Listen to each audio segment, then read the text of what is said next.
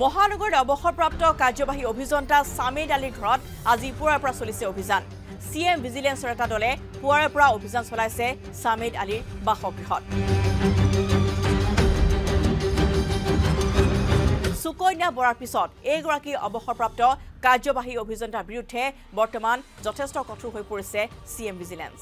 মূল বাসগৃহৰ কাষতে আছে এটা ফ্লেট ছামিদ আলীৰ দুহেজাৰ বাইছ বৰ্ষত অৱসৰ পিছতেই সৰু মটৰীয়াটো তেওঁ এটা বাসগৃহ নিৰ্মাণ কৰিছিল। তেওঁ অৱসৰ গ্ৰহণ কৰাৰ পিছত নিৰ্মাণ কৰিছিল এই বাসগৃহটো আৰু বৰ্তমান সৰু মটৰীয়াৰ এই বাসগৃহটো অব্যাহত ৰাখিছে চি এম ভিজিলেন্সে অভিযান। এই অভিযানৰ কালচোৱাত চি এম ভিজিলেন্সে বহুকেইখন বেংকৰ পাছবুক ইতিমধ্যে জব্দ কৰিবলৈ সক্ষম হৈছে।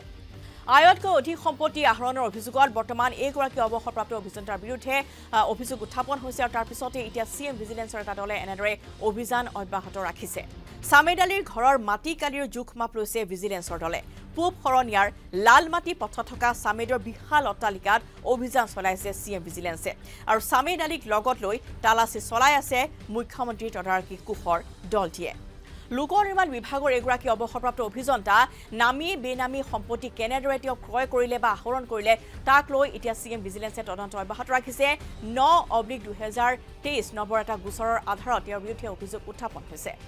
কৰিমগঞ্জত দীৰ্ঘ সময় ধৰি চাকৰি কৰিছিল এইগৰাকী ছামিদ আলীয়ে।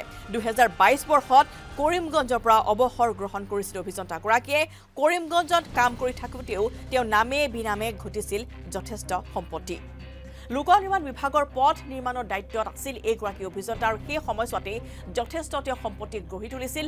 যথেষ্ট এনেধৰণৰ কেলেংকাৰীৰ সৈতে তেওঁ জড়িত আছিল।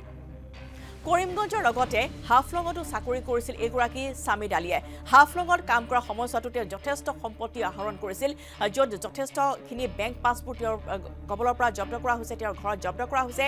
প্ৰায় চৌবিছখনকৈ বেংকৰ পাছবুক ইতিমধ্যেই তদন্তকাৰী কোষে জব্দ কৰিবলৈ সক্ষম হৈছে। গুৱাহাটীৰ চাৰি ঠাইত আছে বিশাল অট্টালিকা আলীৰ আৰু ভূমিও আছে যথেষ্ট পৰিমাণৰ। গুৱাহাটীৰ গান্ধী বস্তিত আছে তেওঁৰ দুটাকৈ বিশাল অট্টালিকা।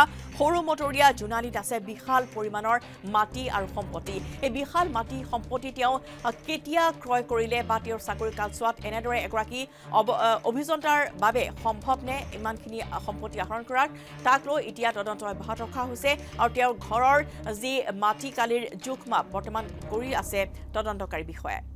আৰু এইদৰে লোক নিৰ্মাণ বিভাগৰ এগৰাকী অভিযন্তাৰ বিৰুদ্ধে যথেষ্ট অভিযোগ উত্থাপন হৈছে আৰু বৰ্তমান তেওঁৰ বিৰুদ্ধে উঠা এই অভিযোগৰ পিছতে এতিয়া চি এম ভিজিলেন্সৰ এটা দলে পুৱাৰে পৰা অব্যাহত ৰাখিছে অভিযান আৰু তেওঁৰো এই সম্পত্তিৰ তালিকা যথেষ্ট দীঘলীয়া তেওঁৰ চাকৰি কালচোৱাত এগৰাকী বিষয়াই এনেদৰে কিমান সম্পত্তি আহৰণ কৰিব পাৰে তাক লৈ এতিয়া চোকা দৃষ্টি ৰাখিছে চি এম ভিজিলেন্সে আৰু সম্পত্তিৰ তালিকা বৰ্তমান প্ৰস্তুত কৰিছে যিখন সম্পত্তিৰ তালিকা যথেষ্ট দীঘলীয়া হোৱাৰো সম্ভাৱনা আছে।